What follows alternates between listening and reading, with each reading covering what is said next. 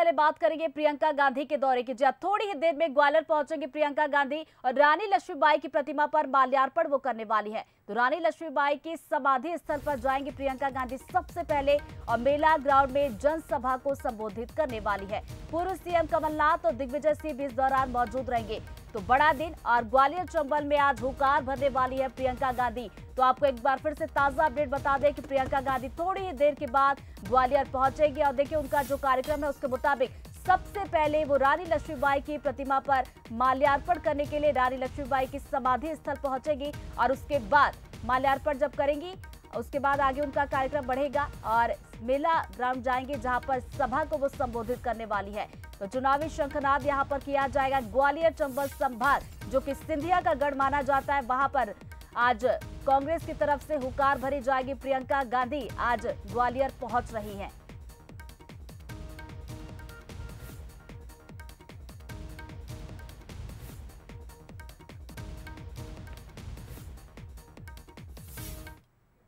तो समाधि स्थल पर हमारे संवाददाता मौजूद है और उन्होंने जायजा लिया। आपको दिखाते हैं। देखिए रिपोर्ट। इस वक्त हम खड़े हैं रानी लक्ष्मीबाई की समाधि पर। हम आपको बता दें कि आज राष्ट्रीय महासचिव प्रियंका गांधी आने वाली है। उसकी पूरी तैयारी कर ली। मैं आपको बताऊँ, पूरे शहर होर्डिंग से उन्होंने पूरा पाठ दिया। और भी बताएँगे लक्ष्मीबाई की समाधि पर। मैं अपने सहयोगी से कहेंगे, पूरी सुरक्षा व्यवस्था के भी बताएँगे कि सुरक्षा व्यवस्था पूरी तरीके से चका चौबंद है। यहाँ पर मैं और अंदर लेके जाऊँगा। पूरा यहाँ पर सुरक्षा को लेकर पूरा ख्याल रखा रखा गया है। लक्ष्मी लक्ष्मीबाई की समाधि में कहूँगा कि लक्ष्मीबाई की यहाँ समाधि है। कुछ ही देर में यहाँ राष्ट्रीय महासचिव प्रियंका गांधी जी आएँगी और उसको उसके बाद सीधे सभा स्थल में बताएँगे। हम एक बात और बताएँगे, पूरी सुरक्षा व्यवस्था है पुलिस पूरी तरीके से, पूरी तरीके से मुस्तैद है यहाँ पर।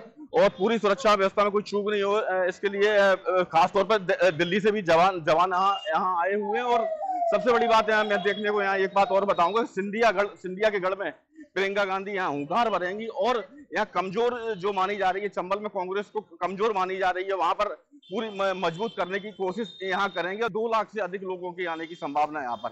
सौरभ शर्मा, बंसल न्यूज़, ग्वालियर। तो देखिए जायजा हमारे संवाददाता ने लिया था उसकी तस्वीरें तो हमने आपको दिखाई तो वही देखिए बढ़ेंगे आगे। ग्वालियर से ये खबर है जहाँ पूर्व दस्यु की कांग्रेस में एंट्री हो सकती है। बागी बलखान से कांग्रेस में